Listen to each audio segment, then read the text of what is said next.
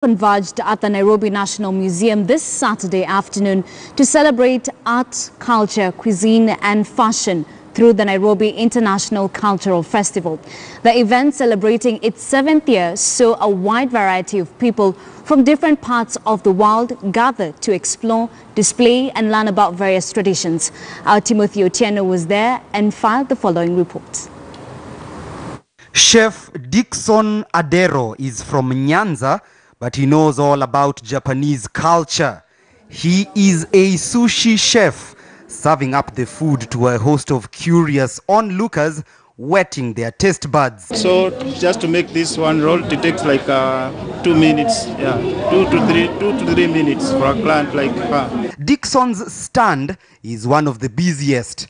Together with his assistant, he is helping serve up the delicious delicacy to a stream of clients. It's a unique culture. We have a history and uh, uh, unique culture like kimono, dances, tea. Dixon is among hundreds of exhibitors who have descended upon the Nairobi National Museum's grounds for this year's Nairobi International Cultural Festival, an event celebrating its seventh year and is aimed at promoting tradition and culture for over 2,000 various communities across the globe. I've already enjoyed this place because uh, we've been walking around with my friend here. Uh, I've enjoyed the uh, personally the Chinese stand because uh, I usually find their culture quite fascinating. Uh, the experience is awesome because we get to see other cultures performing, Egyptians playing, so it's cool. I'm studying Chinese in uni, so it was really amazing to like get to interact with them and see what they eat, what they do, the Chinese characters, the culture and everything. It's Ni hao ma.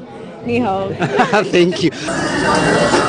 Evita Manso is a Spaniard who has been living in Nairobi for five years now. She displays her cooking prowess at this year's event, hoping to promote the Spanish culture to those visiting her stall. La paella is a tradition, is this dish.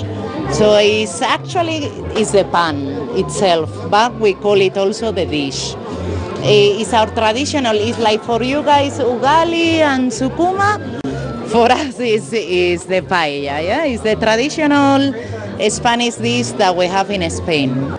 Hers is an experience shared by many people from different nationalities, bringing a little bit of their home and culture to Nairobi. When I first came here, and then I introduced myself saying I'm from Botswana, so people would say, uh, "Are you from? Uh, you mean in South Africa?" So here it's promote individual of the countries. So it brings that uh, that individuality, where we can just express our culture, we express what we are about. Choripan is a typical dish uh, from Argentina. It's a typical embroidered sausage, and it's made basically of pork. It's a sausage made on pork.